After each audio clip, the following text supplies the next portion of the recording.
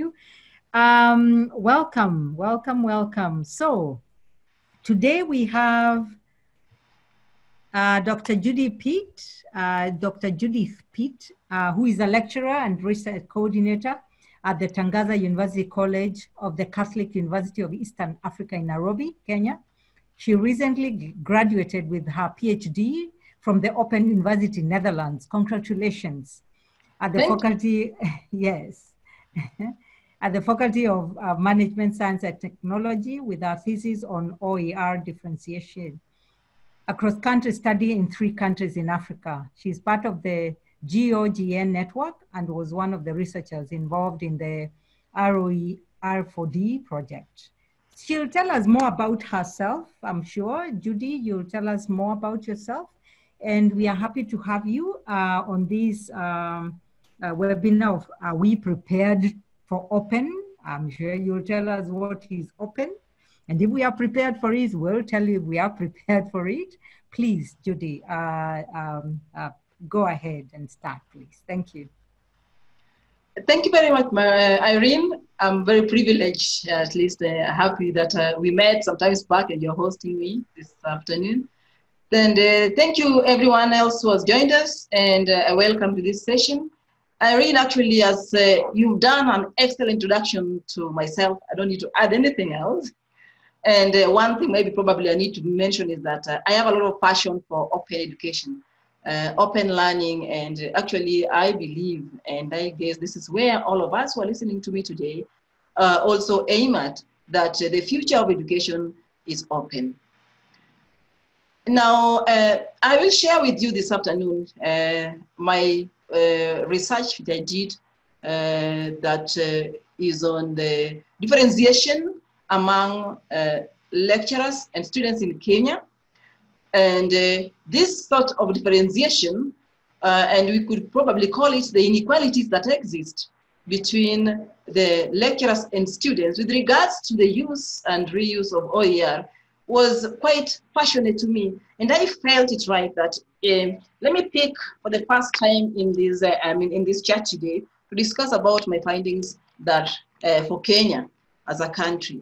Now, um, I think um, the reason as to why I chose a topic on OER uh, roots way back in my uh, life history, how I grew up basically in a rural setup, in the village life, and with a lot of hardship here and there, and struggles actually to get the basic needs to acquire the most basic education.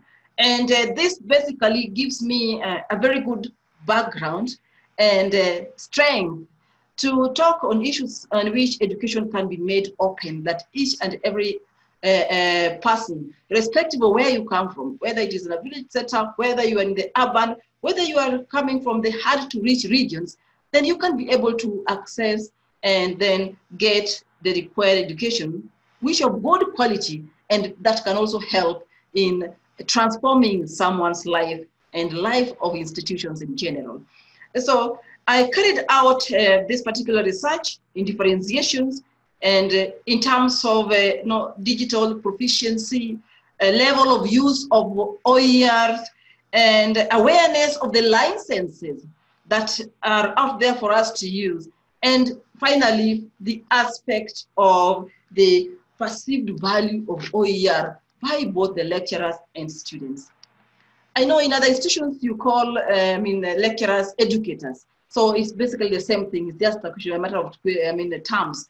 Here I call them lecturers, but then elsewhere they could be called um, educators. Now, uh, just uh, a brief uh, introduction, or in terms of uh, OER, what is the African context of the term open? You know, many understandings of this term is everywhere. People understand open education resources differently.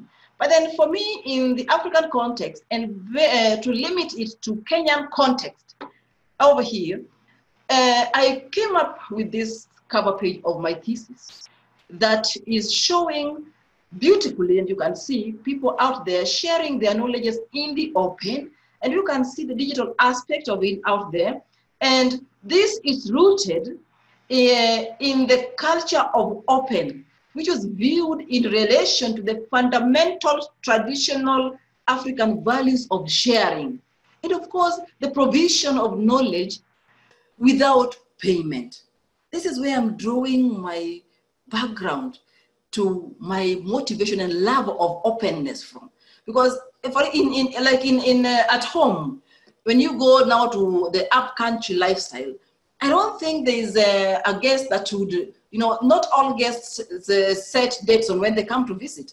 Not our neighbor, neither will our neighbors join us when we are having a meal. Then we fail to tell them karibu. Karibu means welcome to the meal, even though we did not really add or budget for them to do this. So that culture of free sharing, open sharing, and without any uh, payment attached to it is what brings the aspect of open education very relevant for Africa.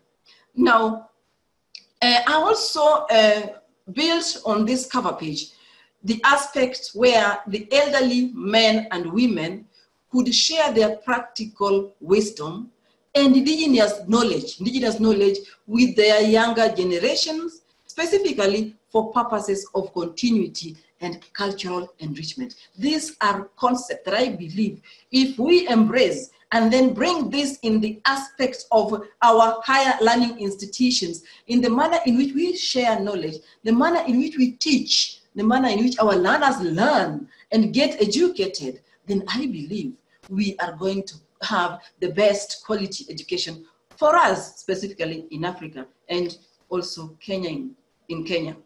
Now, my motivation for this particular topic or to talk about issues on OER in the Kenyan context is that since my childhood, I've always seen, bearing in mind what I went through, the urge to access education without boundaries. How can this be made possible?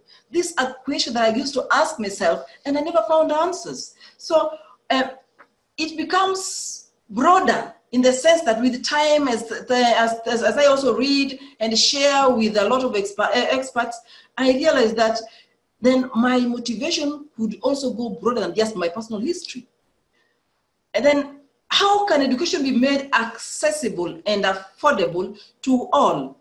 And I also mentioned the term orphans because I grew up with my mom only. My dad died when I was quite young, uh, less than 10 years. So I was also focusing in that aspect as an orphan.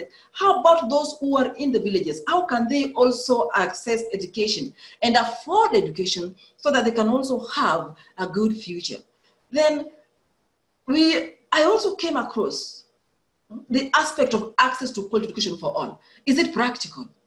If we don't let our education systems to share their materials freely and openly, then how can we achieve that goal number four of the SDGs of education for all?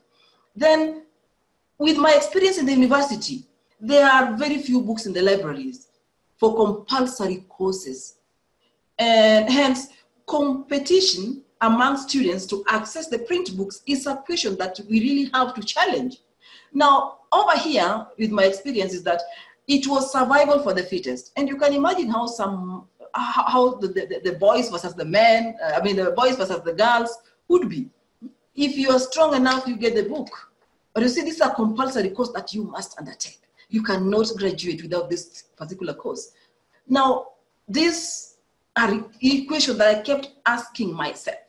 But then I got surprised when I noticed the untapped potential of OER in Sub-Saharan African uh, context.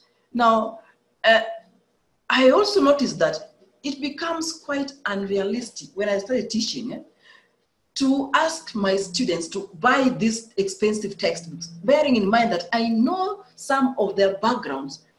They hail from very marginalized communities and also uh, flashing back on my own life experiences when I was growing up. It was difficult even just to put a meal on the table. Then I asked a student to go and buy a, very expensive book for a specific course that I teach, which is a common course or a core course. That basically, for me, becomes very unrealistic. Now, uh, the untapped, the untapped potentials on OER, therefore, uh, I came across TESSA during my study. That is the Teacher Education and Sub-Saharan African, the TESSA, which had a lot of initiatives to promote OER usage. Then I got interested. They said, there is something out here that if it is if tapped by most of our higher learning institutions, then we can be in a position to do what? To transform our education system in which each and every individual, be it from you, whether you hail from the rural area or you hail from the marginalized communities or from those areas which are very hard to reach, then you can access education, quality education materials that can also help in transforming lives. Now, I was very happy and privileged to become a participant in a very good and large scale study that was called the Research on Open Educational Resources for Development, which was basically a large scale study to get a fair OER picture from the global south. And sub-Saharan African countries were also part and parcel of this great research. So Kenya, which is my country, is one, was one of the participants in this particular research. Now, the, this, the, the research was under the auspices of our current UNESCO chair, uh, our famous uh, Professor Cheryl Hodgkinson, who is also, who was also the principal investigator. We've learned so much from her and really out of our leadership, great things came out from this large scale study which apart from under being taken also undertaken in sub-Saharan Africa, it was also spread all over to South America and Southeast Asia, as you can see the countries in my screen. Now, the turning point, the turning point of my love for OER grew up when I became the African coordinator for the ROER4D project, which was a sub-project number two. And then I also became, from the same same network, I became a member of the GOGN, Global Graduate OER uh, Network, which supports the PhD researchers and promotes inclusive openness. These are really elements that was quite important for me. And interacting with OER gurus and practitioners, then I grew more interest and I got a lot of passion in terms of researching in this area. Now, for the Kenyan research, uh, the participants, those who basically form part and parcel of this output, includes the, a number of universities in Kenya. I did four public universities and, I mean, two public universities and two private higher learning institutions in Kenya. And by the use of questionnaires and through the Survey Monkey, the data was gathered and analyzed that involved 43 lecturers and 798 students in Kenya.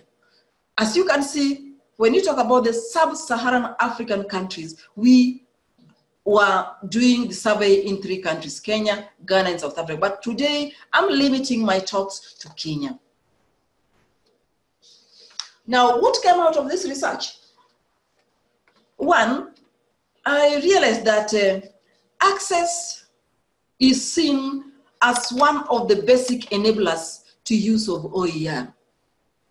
We also realized that cost implications, speed, and internet uh, stability has a direct relationship with the use of OER in Kenyan universities.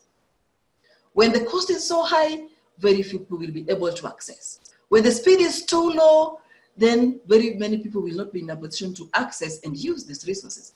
And of course, where the internet is unstable, we notice that it is almost impossible to talk about the use of these resources. Now, just to mention a little bit on the aspect of access, remember we have regions in this country where electricity is still an issue, power, there are blackouts or some areas are not generally connected. So it, it's still something that we should not ignore when we talk about promoting and motivating people to use OER materials. Now, two, I also noticed that uh, there is a lot of significant differentiation among the lecturers and students in terms of proficiency and devices that are used to access the internet, and of course, these resources.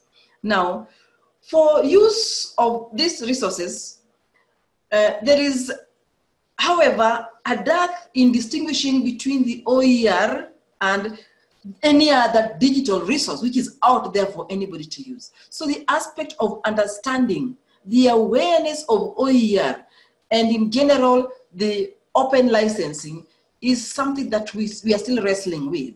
So we notice that OE, open, open licensing and sharing of our resources is low in Kenya. And it was pretty low when you compare our urban and rural setup universities. The appreciation of the concept is good because everybody actually currently is using what is out there in the internet to be, I mean, to be used. Well, I noticed well, our lecturers, you know, uh, access, they pick what they need, they reuse them, you know, they, they, they contextualize it to suit their basic needs, meaning this is positive. And this for us actually is a good sign uh, for preparedness towards the openness in the future. And that will basically help us if we have, we have uh, strategies to implement any open, uh, I mean, open initiatives within the country that will work out because of that positiveness that we realize, positivity among the lecturers and students in with regards to the use of these resources. Now, uh, since access, as we have seen, was one of the most fundamental considerations when conceptualizing OER among the lecturers and students. Now, we realize that despite the well-known structural uh, obstacles that face our higher learning institutions in Kenya, and in terms of OER adoption, you know, and use, there is a lot of growing uh, use of the mobile devices which are provided. And this for us we provides a very good pointer on reducing the inequalities that exist. Now, if you have a look at this particular diagram alone, you'll be able to see that apart from the rural setup where we had majority of the students and some lecturers still use the desktop computers, then mobile telephony is something that is being used by most of the people to access internet and this will also enhance the use of these uh, uh, resources. We also see the aspect of the laptop. Laptop is also growing actually, uh, irrespective of our, of our economic status. Eh? And uh, reading in between the lines of the, I mean, uh, uh, of, of how economic status are in in this country, more, many people now are using laptop computers to access internet. So access is key. And therefore, even though we are challenged in other ways, but people are using, people have these devices to support the usage of OER materials. Now, the aspect of connectivity I've mentioned before is that uh, there is still a lot of challenges in terms of, you know, how much do we pay for the internet? What's the speed of what I pay for? And is that particular uh, internet stable that will enhance my usage of the available resources that I need, can use, reuse, and repurpose to transform my teaching and learning at various institutions. So as we can see, uh, people are still not extremely satisfied with what they have in terms of uh, cost, speed, and stability. And this cut across between lecturers and students and also from the urban and rural setups. Now, open licensing awareness and in general, the OER uh, engagement levels were generally were very low. But respondents, uh, this is quite interesting, and uh, I know we will pick up from here for most of the OER, I mean, gurus and those who are practicing this, uh, that uh, some respondents indeed created, reused, and share digital resources without any license, with no licensing. And this is something that I think we can build up, build a debate over. How would you share what you call OER without an open license. This is uh, something that we question, and that also calls for our action that there is need to, I mean, build the capacity of people on how open licensing is important when it comes to sharing of educational resources. So awareness among the lecturers is quite low, as you can see. Awareness among the students is also very uh, pretty low. And that is an alarm. It calls for some action that we have something to do. There's a lot that we need to do to enhance people's uh, knowledge and capacities with regards to the available uh, open licensing. Now, the motivators to use these resources. Remember, uh, many lecturers and students have a lot in their hands to undertake. Those who are learning, those who are doing research, those who are teaching, and those who are doing other, uh, other, other activities. So there are a number of factors that came up during this uh, uh, survey that motivated most of the lecturers to use these resources. The first, uh, uh, uh, the first and most striking was uh, the aspect of these resources bringing down costs for students. Then helping other educated students because they, people believe, majority believe that uh, for a, a, a, resource to be put up there as an OER, it must have come from the most reputable institutions. That is one. And two, the fact that most of them which are up there are really peer reviewed. So they're happy to use them because they know they have good quality. Then that I know will bring into a question that I know some of you will ask me in a short while. Then bringing down cost for course development uh, for the institutions is also a factor that was rated uh, slightly higher by both the lecturers and students. And I think that really is something that we can also pick up from and, and see how best we can build on, on, on, on this, um, uh, these concepts. And uh, rated low there was the enhancing, the aspect of enhancing the reputations of both the users and the, those who create them. So this is specifically giving us an idea that what will enhance the use, what, what um, makes lecturers happy to use the resources and the students as well. So that is basically, and therefore, what are some of the barriers why are they not using them? They're available, yes. But how comes we are not getting involved to either create and share?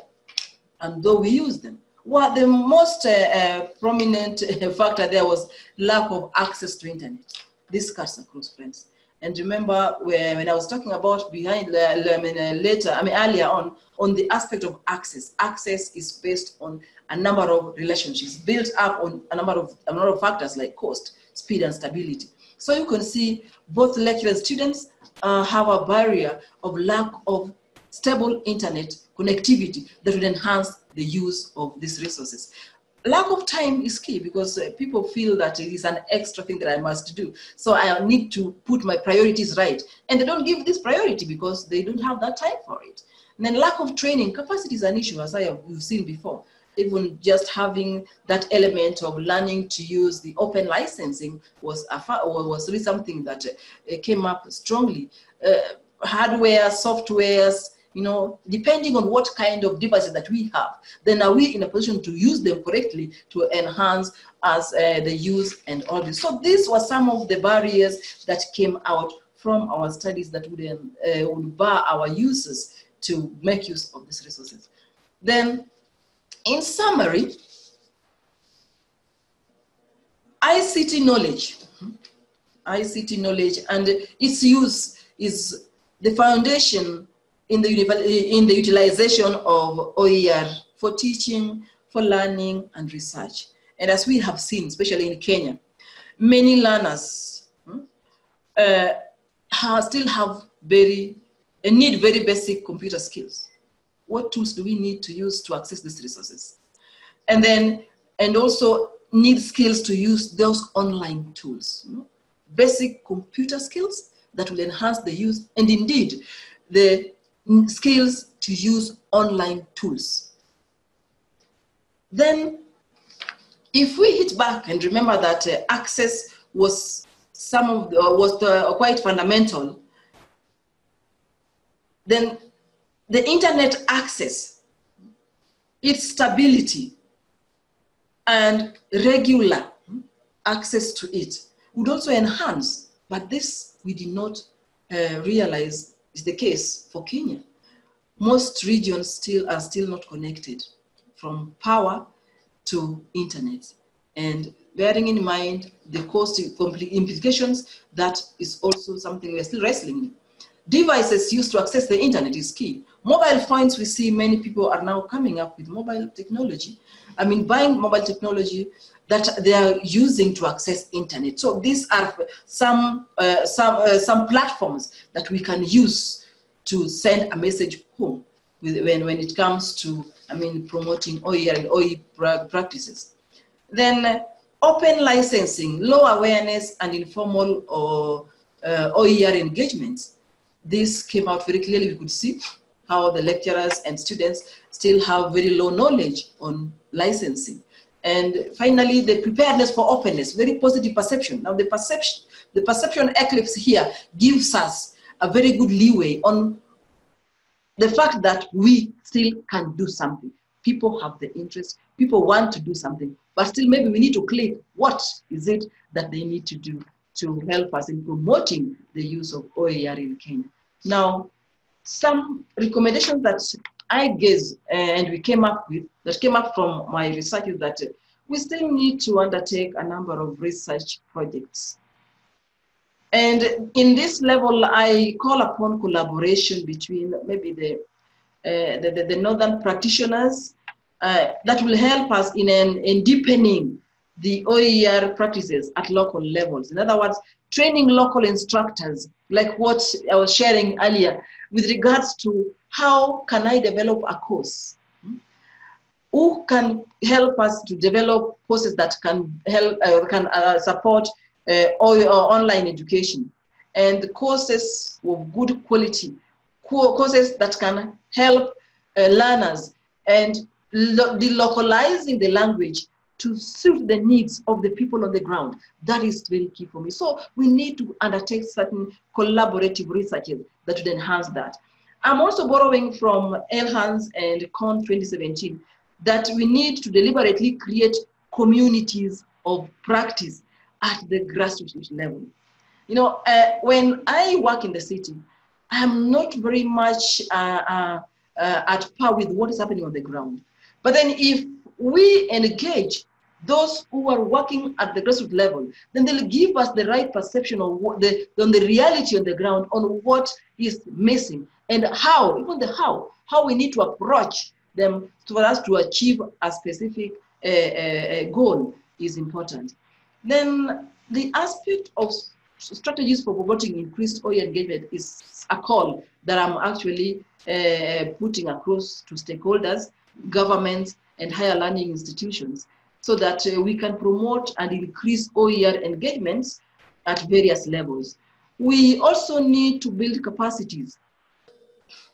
There are gaps to fulfill here from our learning institutions. We need to promote digital literacy information literacy, the aspect of licensing. It is up to the institutions to see to it that it is their responsibility to provide institutional support to enhance the promotion and the use of, or, or rather, the uptake or integration of OER and ICT in our teaching and learning. This will be very helpful. I'm also calling upon the UNESCO and the several governments to develop appropriate policy frameworks that will help.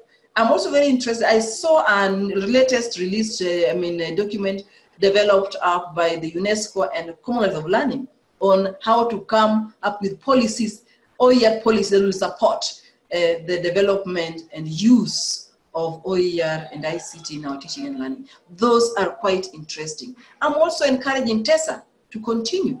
OER Africa, we have the, all this uh, in, in Africa and especially in Nairobi the Africa Virtual University to develop app support programs for inclusion and integration of ICT and OER in teaching and learning. This will help us to see to it that the differentiation that I'm talking about, the inequalities with regards to undertaking OER and OEP at higher learning institutions are reduced.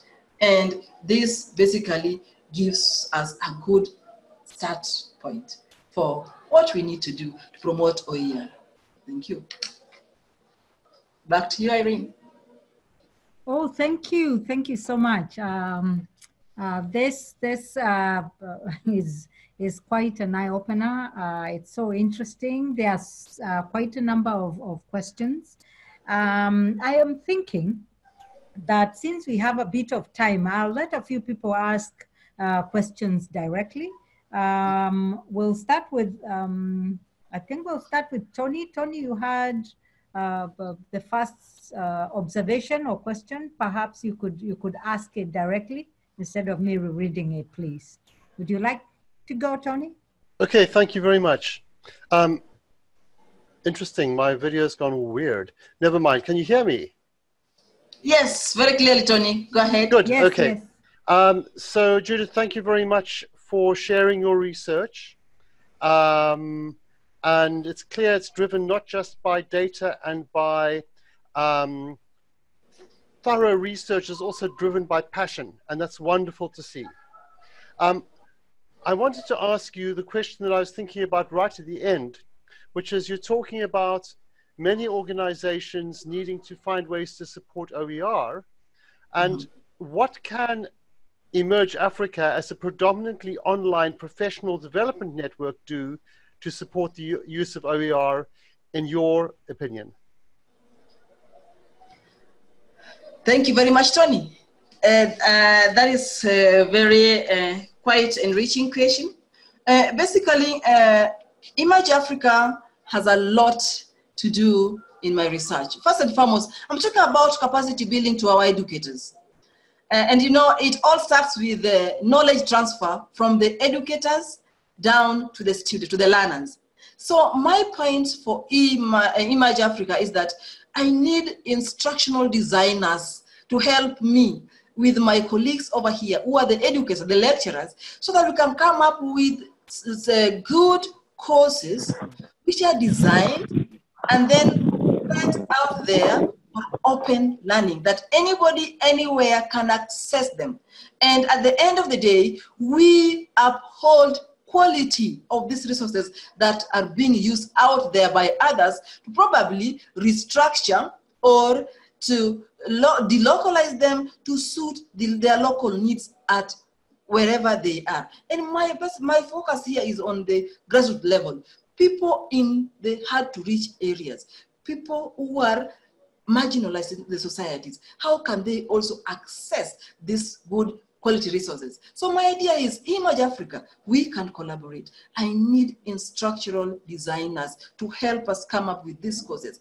I need capacities built for both the students and the lecturers in terms of how the OER has greater potentials to increase the quality of our educations in Kenya specifically.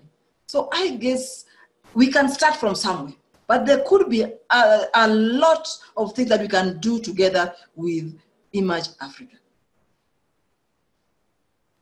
Uh, thank you, Judy. Uh, we have another um, uh, interesting uh, observation and also, I think, a question from Jerome. Jerome is from the University of Jos in Nigeria. And he says, I think the idea that resources have to be peer reviewed or somehow perfect before they are shared is problematic.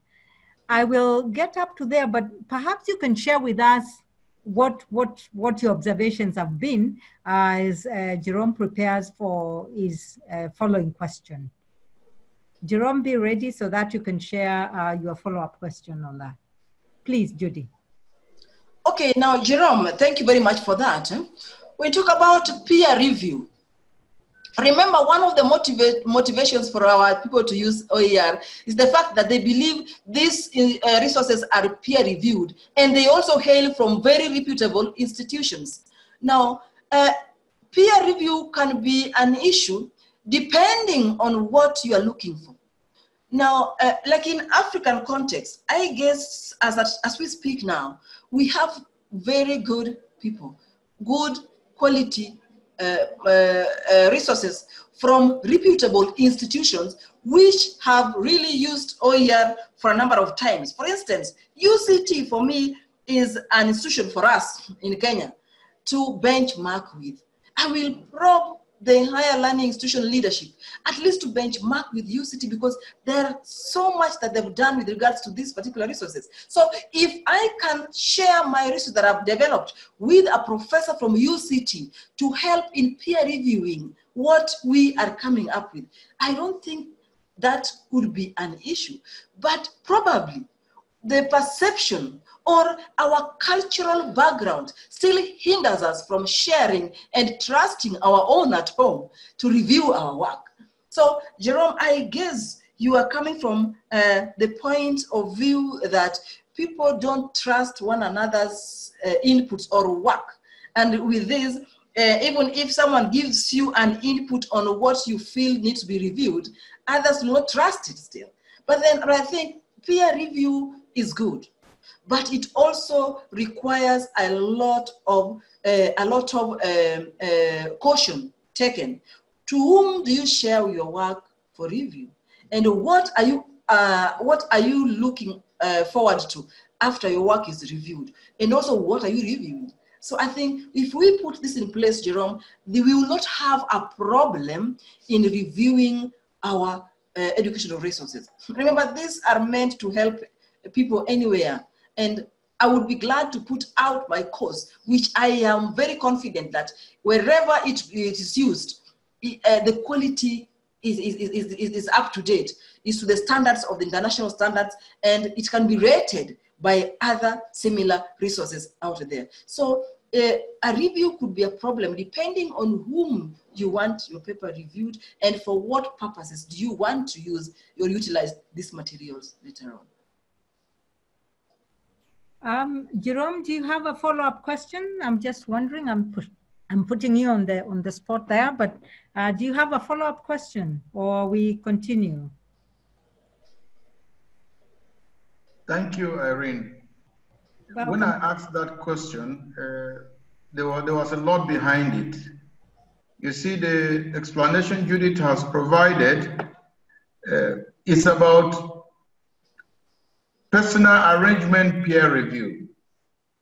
How does the person who is accessing your work when it is out there know that you reached out to a professor at UCT or elsewhere and got a peer review? Basically, concerns have been raised regarding the quality of homegrown OERs. Uh, are there African standards? Who set these standards? How is there a consensus in terms of the acceptance of these standards? These are some of the issues, and they have hindered some people from fully embracing OER, either as consumers or as uh, contributors to it. So that is why I asked that question. There is also the the question of the differences in curricula and the cost of uh, adjusting uh, material to fit the curriculum of a particular institution, even within the same country. Sometimes the cost is so high that uh, it would be better to just start uh, creating the content from scratch. So I, I want to hear from you the experiences you have in Kenya along these lines. Thank you very much, Jerome, for that clarification. Actually, the aspect of standards and who sets the standards and uh, uh, uh, who are the standard measures? Who should we measure our own quality of education resources that, uh, uh, uh, that can help us also to build and gauge what we share out there. This is very key. And uh, it, I agree with you, it's a big challenge for us still within the sub-Saharan African countries that uh, trusting uh, our own homegrown resources is still uh, uh, uh, something to wrestle with. And I think this is, this is a sort of the orientation that we've had with, with regards to the institutional, uh, I mean, uh, cultures that were built therein, that our own is the best. And what do they have that we must compare with the rest, with, with others. So these are certain barriers that I think we still need to uh, actually see to way, see ways in which we can challenge them. And you've also brought up the as, other aspect of cost. Really, cost implications is a challenge. And when it comes to um, the, the, the, institutions coming in and chipping in to support some of these elements of uh, the, the designing the courses and sending them out there for peer review, there are institutions that definitely will ask for payment for them to review your work. Now, uh, and bearing in mind on how the, our universities here are crippling with financial constraints, it, is, it becomes almost impossible for the institutions to finance uh, some of these uh, activities that will enhance quality peer reviews. But then we still uh, have a lot of hopes. I believe that if we start drawing, I mean, building up and then sharing this among ourselves, because we understand our own uh, challenges at home. We know our own institutions. We know our own cultures that exist in our institutions. Then I believe we can trust one another from, uh, uh, from our own uh, level of understanding. Uh, for instance, if you talk about the aspect of language, hmm, if the language is a problem to our own students to understand the, the, the OER resources that are meant there for their educational learning and teaching, then we can come up with uh, translators who can build and who can also delocalize these particular um, uh, languages to a level where our students understand them, bearing in mind their own grassroots, uh, I mean, uh, needs. Now, if I develop a, a, a course in Kiswahili, I peer review this particular uh, course with another university in Tanzania because we know Tanzanians are the gurus in Kiswahili, then I, I can easily trust that this particular work has been peer reviewed by a quality or a qualified professor who understands the nitty gritties of my course and in terms of translating this particular document to for our students to easily understand and access it, then we can build that from our own institutions and within our region to ensure that quality is met and standards are met. So I really um, uh, uh, uh, support the fact that who, who should we benchmark with and who sets the standards? And I say we can set our own standards. We understand our people. We know our challenges. We understand our institutions with their, uh, I mean, with their uh, uh, challenges financially and otherwise. So we can localize this to suit our own local needs and hence build standards that generate and build our own people and then promote the integration of OER and ICT in our teaching and learning. Um, thank you, thank you, uh, uh, Dr. Judith. Um, we in the chat uh, uh, um, uh, how many policies can we have? Um, we are saying that government should have policies, and how many policies uh, can we have? And he has a follow-up questions of um, what are the challenges of, of, of implementing he says, are there any challenges in OERs without institutional OER and national OER policies? Uh, what's your take on that, please? And then uh, probably, Gabriel, you could um, uh, prepare yourself to probably follow up with one more question or a comment. Thank you. Over to you, Judy. Uh, thank you very much for that. Now, how many policies? I think in our institutions we have a number of policies depending on uh, what the mission and vision of these institutions are meant to meet. Now, an educational policy is a drive, a guideline that should uh, streamline the actions of the institutions.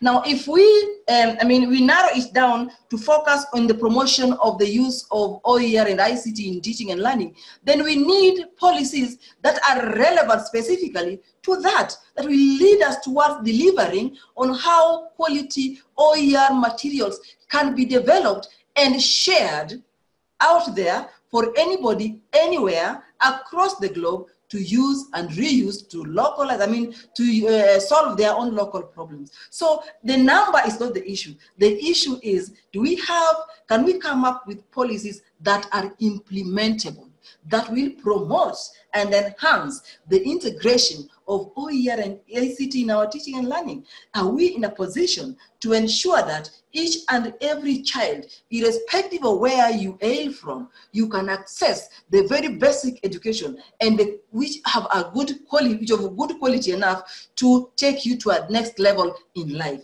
That is basically what I call a holistic transformation. And education systems should therefore have those policies that needs to be implemented. Now, when it comes to the aspect of challenges, you cannot run away from this. Building up these courses that needs to be shared out there, or the entire process of building the OER policies for the institutions takes time. So time is, a, is, a, is, a, is something to wrestle with. And not just time. Who do we bring on board to help in drawing up these policies? When we constitute the right policies, we don't stop after constituting them. We need to uh, implement them so that they have a sense of direction to the institution. Now, the other challenge that I would say that there's some cost implications, and I mentioned this before, that cost is a factor. Where monies are going to be spent in our institutions, and you know this very well, is normally a, a, a problem. People will always say no when they want to spend on things that they don't see uh, as primary to their initial goals. And also most of our leadership like uh, to remain at the status quo. When you bring in a new idea, change is usually a challenge, change is a problem. Not everyone embraces change.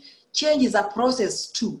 So the other challenge would be that we want to bring in something new into our institution that will definitely shake the status quo. So we have to be very persistent. We have to be patient, but we must be very, very articulate on what we want to achieve. Challenges will never lack. We have a number, so many of them. And also when you bring many people on board to help in coming up with a specific policy, the, you know, reaching a consensus can be very difficult. Not everybody is for this. Others are for other directions. So you really have to create that environment that is conducive enough for each and every participant to feel to it that I have, a, uh, I have something out of this. It is for the benefit of the institution, the benefit of my department, the benefit of my own uh, area, and of course, for my course that I teach and for the research that I will undertake. So if we involve them to undertake certain researches, this would be one way of motivating the, uh, I mean, the stakeholders and through that we, they can, we can end up winning to the level where we find our developed policies implemented. Uh, uh, thank you, Asante. Um, uh, do you have a follow-up uh, comment, uh, Gabriel, uh, from your Zambia um, uh, experience, please?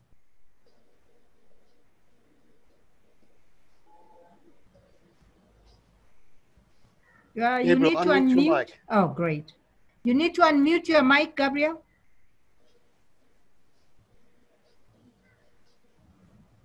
Mm.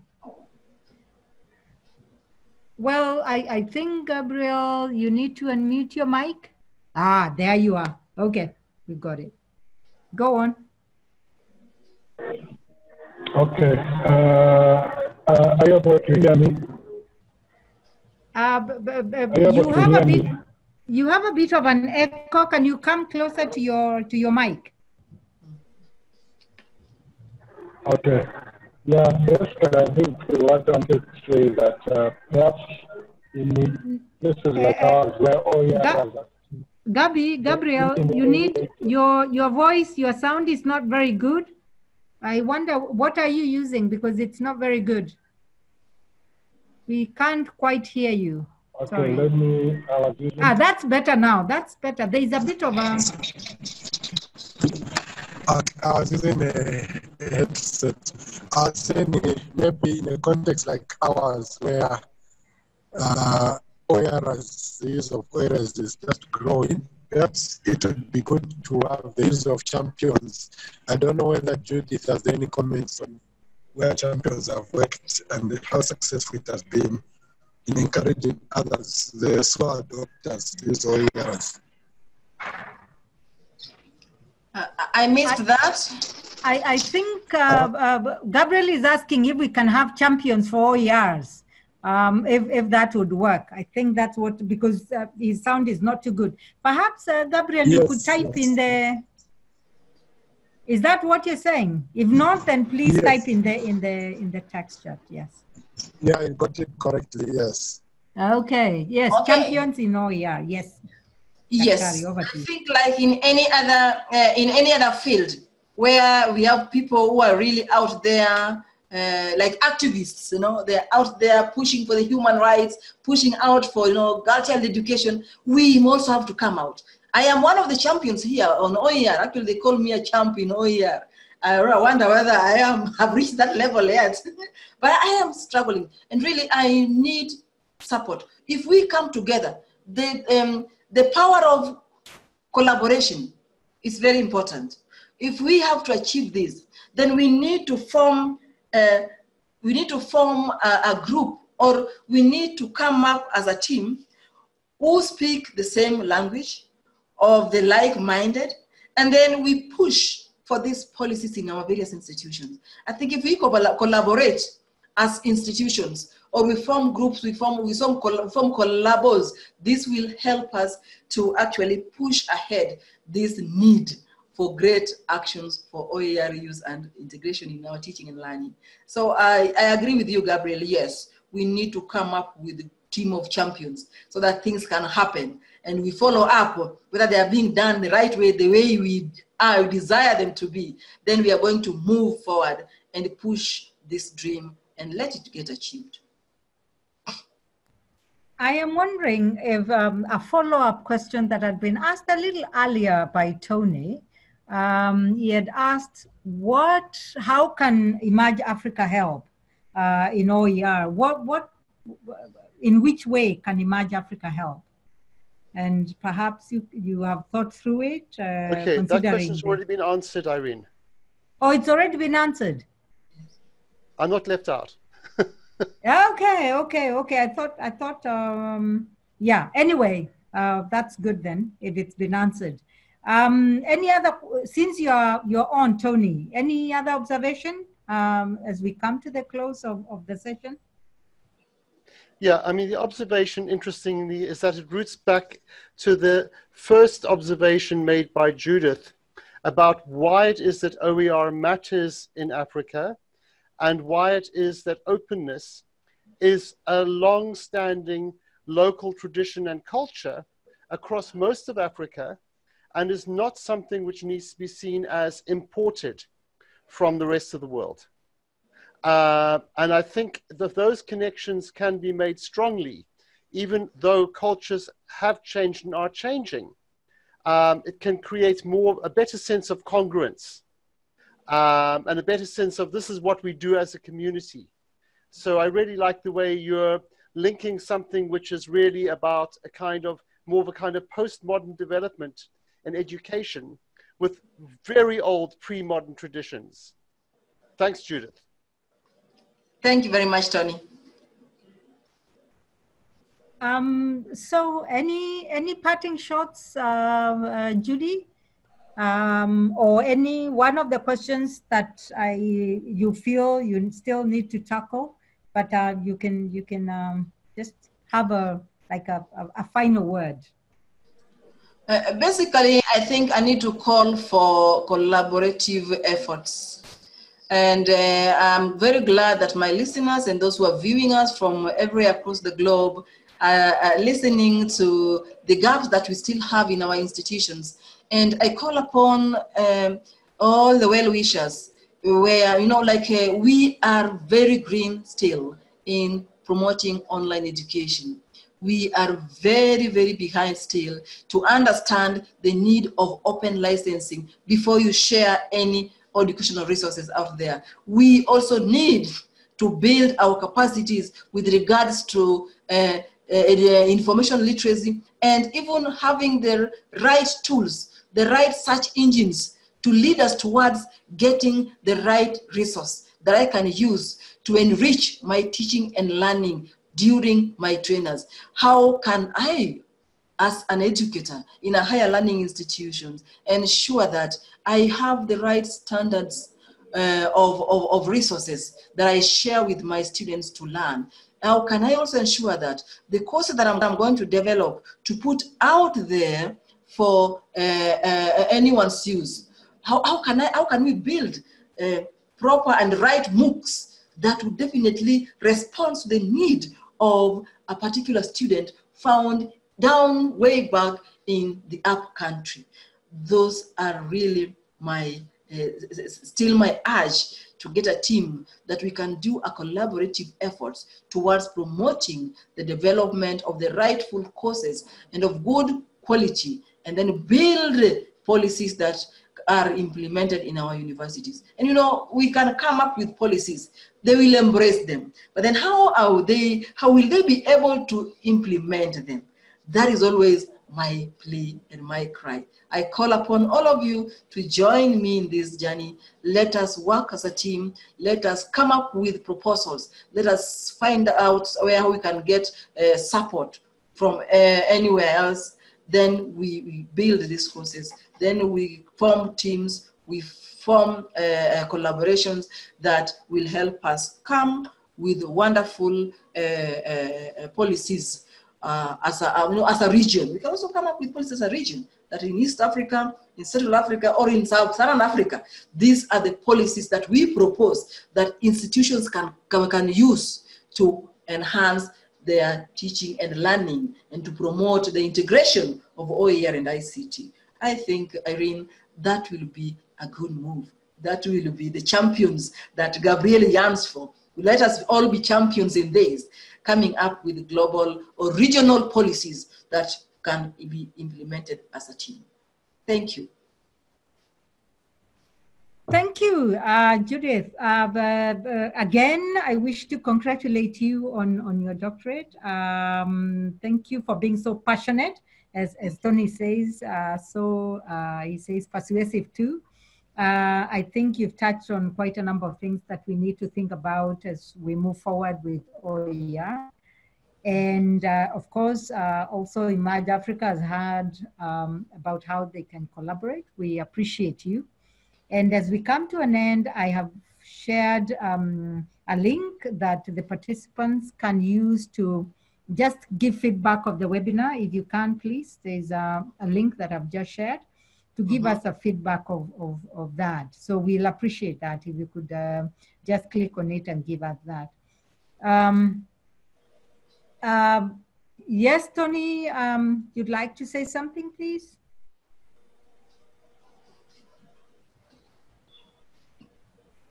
Sorry, I'm putting Tony on the uh, on the spot. Sorry. Um, yes, please feel that. yes. please go ahead. Yes. please share your feedback before you leave because once you've left, you may never come back to share the feedback. And we want to know now, while your ideas and your emotions are still fresh. So let us know now, please, before you go. Thank you. I think I think uh, uh, uh, Dr. Judith, uh, your your passion your, your, passion is being shared across uh, the room today. So please uh, fill in the, the, the, feedback before you leave. And thank you again so much. And thank you for joining us. I noticed that we have people from, from the Middle East. Thank you so much. Uh, our own Mohammed was in the house. Thank you very much. Uh, we appreciate you. And let's keep this, you know, conversation going. Thank you again, Judy, and have a good afternoon. Bye for thank now. You. Thank you very much. Thank you for everything. Much appreciated.